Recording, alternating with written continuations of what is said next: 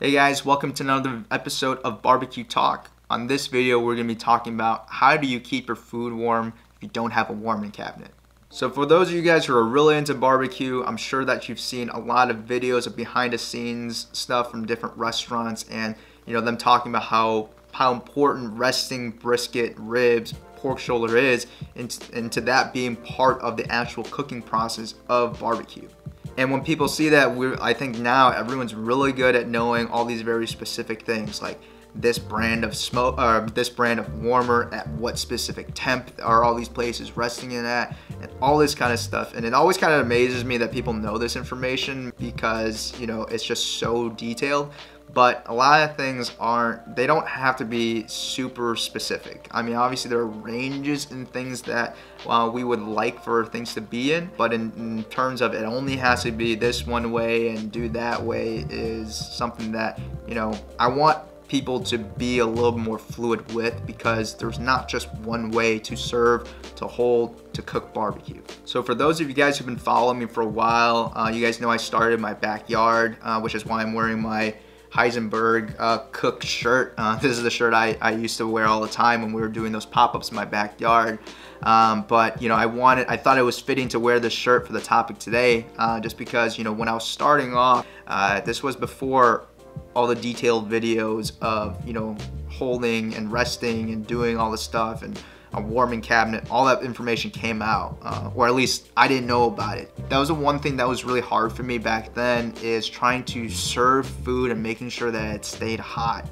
Because, uh, you know, back then I didn't really know how things worked and uh, so I was trying to cook the food as close as I possibly could to service time so that you know, I didn't have to worry about my food getting cold. So for example, like on Saturdays, I would serve food at noon.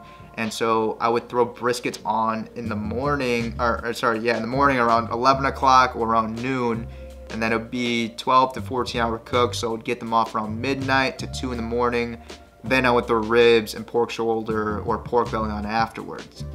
And the one thing that I wish I knew at that time was that you know, there are other ways to keep your food warm because I would love to have been able to cook my briskets, you know, take a nap or do something and then jump into the second half of my cook because it was just a lot to take care of, right? It's a lot to do, and I'm sure for those of you who try to do bigger cooks or you do uh, events and pop-ups and stuff like that, cook schedule is very, very hard to manage when you don't have the proper equipment to kind of make sure your food is nice um, when you are serving it.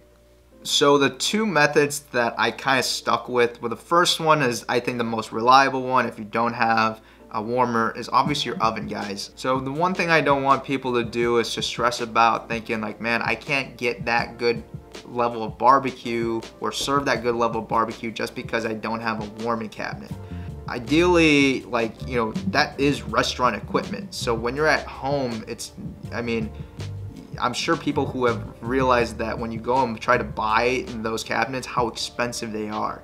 And, you know, it's not, you know, crazy to think that you don't want to spend that much money. And like I said, a lot of people are really good at finding all the details in terms of barbecue. Uh, and they found that like, oh, all these restaurants are holding their briskets at, you know, 145 or 150 in the warmer. Uh, and um, you know sometimes like you know our our some people's ovens don't go that low and people start freaking out. They're like what do I do? Like I don't my oven doesn't go that low. Like it only goes down to like 160 or 170 can I still hold my meat at that temp?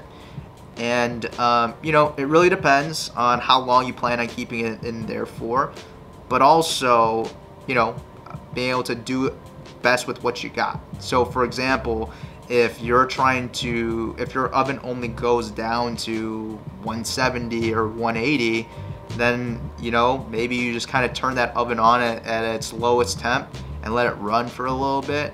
And then before you throw your briskets in there uh, or whatever meat that you got then you can turn off that oven and just kind of keep it closed and just let it do its thing. Everything is a range and it's like a preference. So there are some places that will keep it at a higher temp. Some people will keep it at a lower temp than what most people use. And just to kind of give you a level of comfort of what I'm talking about in terms of, you know, everyone kind of does their own thing. There are a few barbecue restaurants uh, in Texas that are well known that are um, that they will take their briskets uh, off, they'll wrap them up, and they'll throw them in a warmer, and then they'll just let them cook overnight. The second option uh, that I'm sure most people are familiar with is using the cooler, right?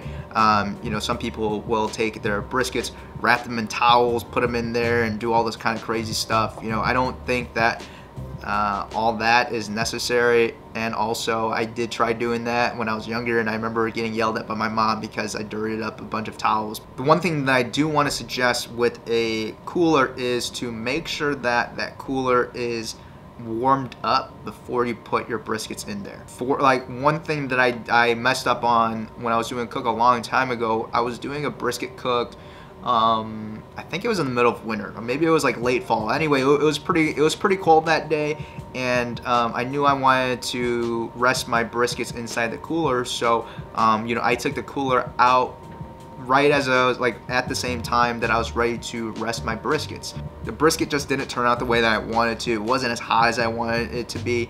Um, and so one thing that I would suggest and something that I learned at Terry Black's is, you know, when we had these large catering orders, uh, we would just put everything inside coolers.